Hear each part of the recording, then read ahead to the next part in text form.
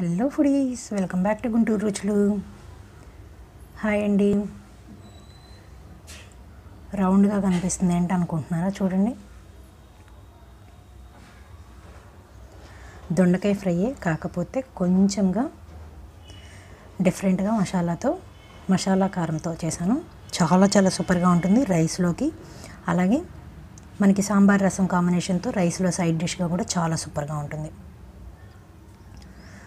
రొటీన్గా చేసుకునే దొండకాయ కన్నా ఇది కొంచెం వెరైటీగా ఇలా చేసి చూడండి. చాలా చాలా సూపర్గా ఉంటుంది. టేస్ట్గా టేస్ట్ బాగుంటుంది. భోజనాలప్పుడు వడ్డించేటప్పుడు కూడా చాలా ఈజీగా ఉంటుంది. పొడి పొడిగా ఉంటుంది కాబట్టి. వేయించడానికి కూడా తక్కువ టైమేనండి ఎక్కువసేపు పట్టదు. నార్మల్గా చేసే దొండకాయ ఫ్రై కన్నా కూడా చాలా తక్కువ టైం పడుతుంది ఇది. చూడండి పొడిగా కూడా ఉంది కనిపిస్తుంది కదా.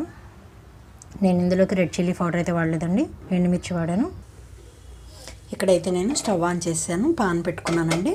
కొంచెం ముందుగా ప్రీ హీట్ అవనిస్తున్నాను ప్రీ హీట్ అయిన తర్వాత ఇందులోకి నేను ఇక్కడ ఫస్ట్ స్టార్టింగ్ అయితే నేను పచ్చిశనగపప్పు తీసుకోవట్లేదండి. పుట్నాలు తీసుకున్నాను వేయించిన శనగపప్పు. అందుకే ఇందులోకి ముందు మినపగుళ్ళు అలాగే నాలుగైదు ఎండుమిర్చి. దీంతో పాటుగా ధనియాలు కొంచెం ఒక చిన్న స్పూన్తో ఒక స్పూన్ ధనియాలు.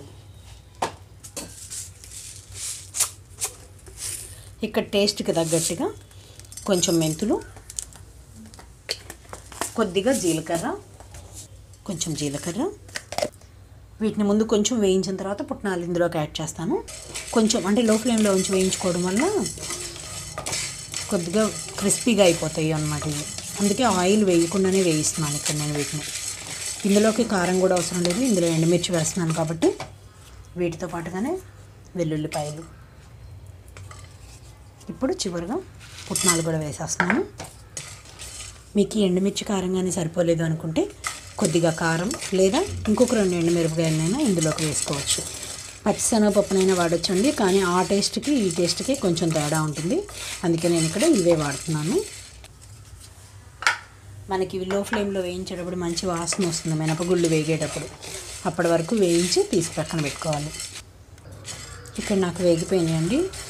మంచి వాసన వస్తుంది. మెంతులు జీలకర్ర మినపప్పు వేగిపోయి వీటిని ఒక ప్లేట్లోకి తీసుకుంటున్నాను.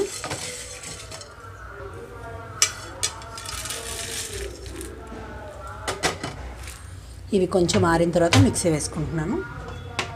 ఇప్పుడు ఇందులోకి దొండకాయలు వేయించడానికి.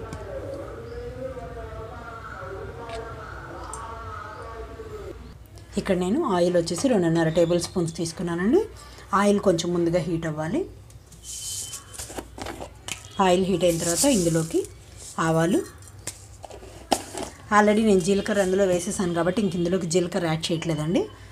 కొంచెం కరివేపాకు. కట్ చేసి పెట్టుకున్న దొండకాయ ముక్కలు. ఇక్కడ దొండకాయ ముక్కలు ఏ షేప్లో అయినా కట్ చేసుకోవచ్చండి. నేనైతే ఇక్కడ రౌండ్గా కట్ చేసుకున్నాను. సన్నగా. ఇలా అయితే తొందరగా కుక్ అయిపోతుంది కూడా. ఇక్కడ మూత పెట్టి మగ్గనిస్తున్నానండి. దొండకాయలు అంత తొందరగా మనకు మగ్గవు కాబట్టి. ఇక్కడ నేను మూత పెట్టి లో ఫ్లేమ్లో టెన్ మినిట్స్ ఇట్లాగే మగ్గనిస్తున్నాను ముందు. మధ్యలో ఒకసారి తీస్తున్నానండి.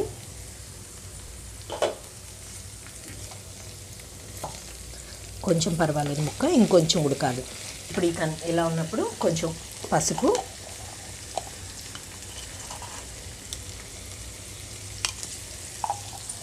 సాల్ట్ కూడా వేసేస్తే ముక్క ఇంకొంచెం మగ్గిపోతుంది. సాల్ట్ రుచికి తగినంత.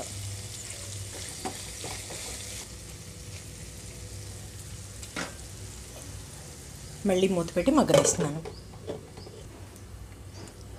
ఈ లోపల నేను పౌడర్ అంతా చూడండి. ఇక్కడ నేను పౌడర్ అంతా మిక్సీ పట్టుకున్నాను.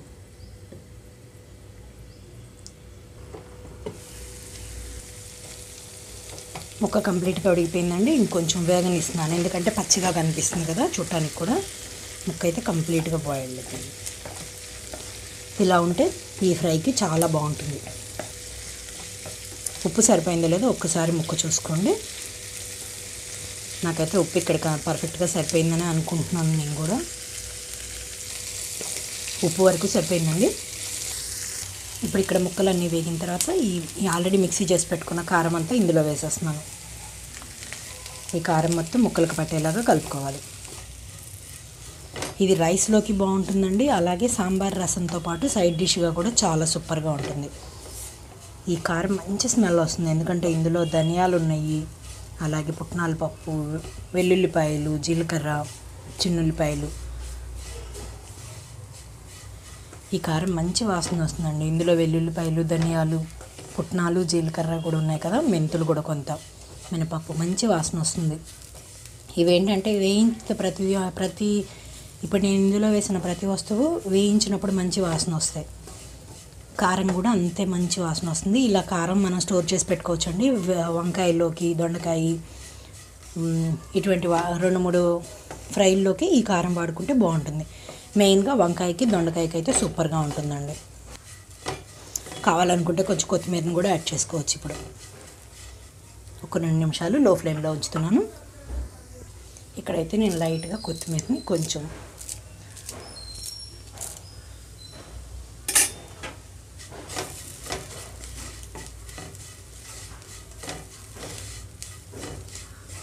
ఇంకా స్టవ్ ఆఫ్ చేసేసుకుంటున్నాను.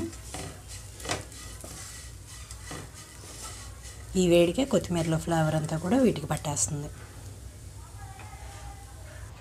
ఇక్కడ చూడండి ఫ్రై మనకి దొండకాయ ఫ్రై. కారం అని కూడా కొంతమంది అంటారు. చాలా పొడి పొడిగా చక్కగా వచ్చింది.